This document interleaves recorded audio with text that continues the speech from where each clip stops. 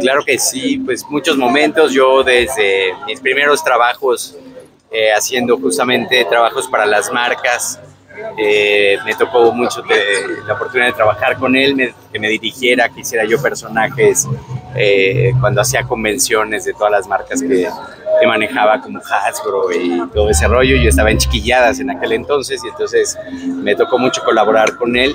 Y después con Manuel Rodríguez Ajenjo tuvimos un programa muy padre que se llamaba La Cuchufleta, en donde también estuvimos al aire y él producía el programa. Y pues tuve la oportunidad de que conociera a mi hija, este, eh, y bueno, de estar muchas veces en el foro y, muy cerca de Manuel Rodríguez Ajenjo también, que fue algo muy importante.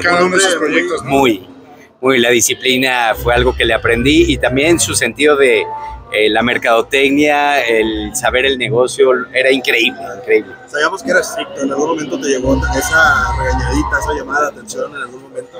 Jamás, pero sí era muy imponente con la voz tan gruesa que tenía.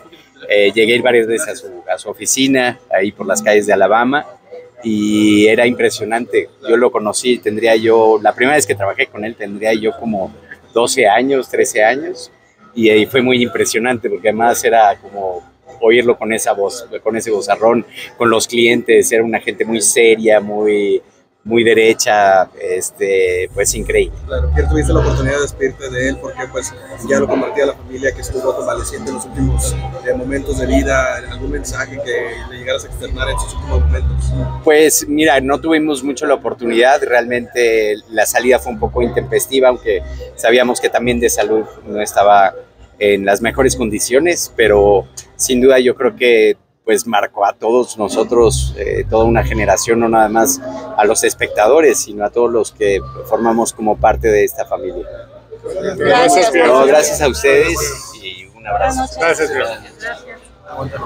estamos,